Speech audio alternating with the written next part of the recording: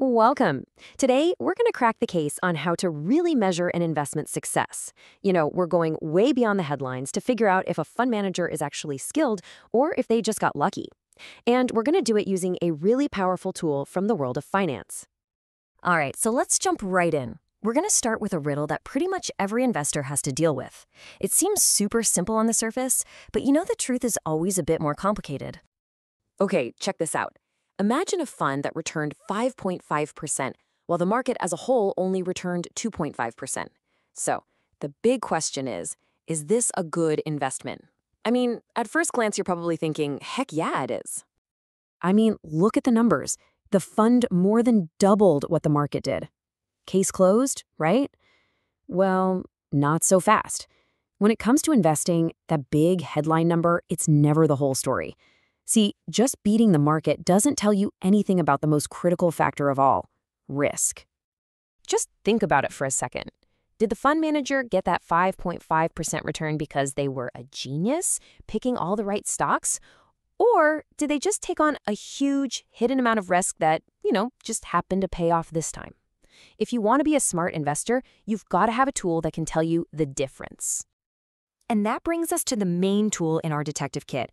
See, to figure out if a return is actually as good as it looks, we need a baseline. We need a way to calculate what the return should have been, given the amount of risk that was taken. So, where do we get that baseline? Well, it comes from a really foundational idea in finance called the Capital Asset Pricing Model, or CAPM for short. This formula basically gives us the expected return for any investment.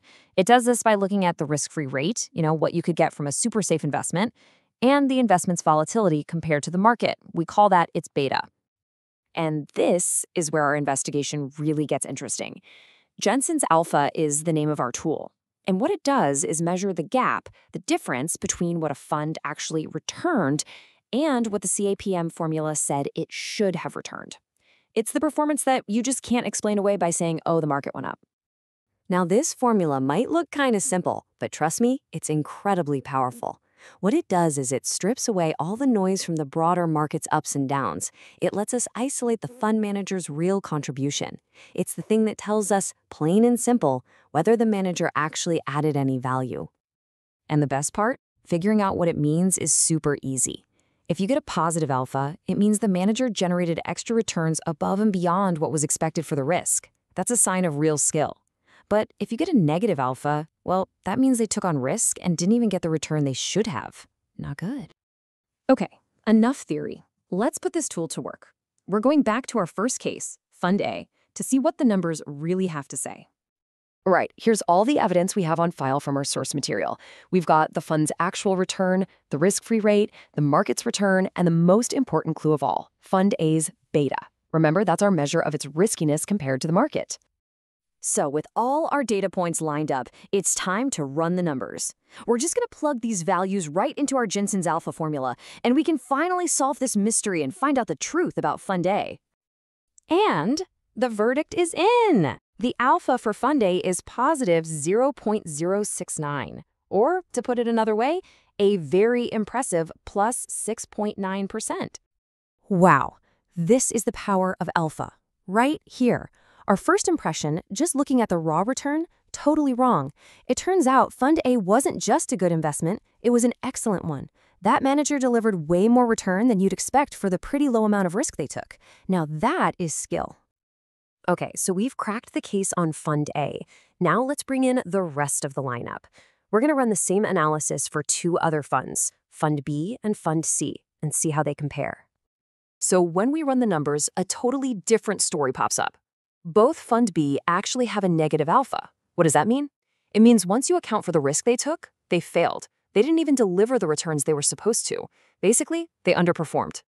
And hey, take a look at the market's alpha. It's zero. And that makes perfect sense, right? The market is our benchmark. It can't beat itself, and it can't lose to itself. It just is. It's the baseline that everything else is measured against. All right, let's pull everything together for the grand finale. Our source material actually gives us results for a couple of other performance measures too, so we can get the full picture and see who the real winner is. Okay, here's the complete scorecard. You can see our Jensen's alpha results right there. But we also have the Sharpe ratio. That looks at return versus all risk. And the Treynor ratio, which is a bit like Jensen's and looks at return versus just market risk. And check this out. When we rank all the funds based on these three different methods, the result is just undeniable. Fund A is number one. Every single time. It doesn't matter how you slice it, Fund A is the clear champion here. And here's a really key insight, and this comes straight from the source material. The Jensen and the Treynor measures, they'll usually give you the same rankings. And why is that?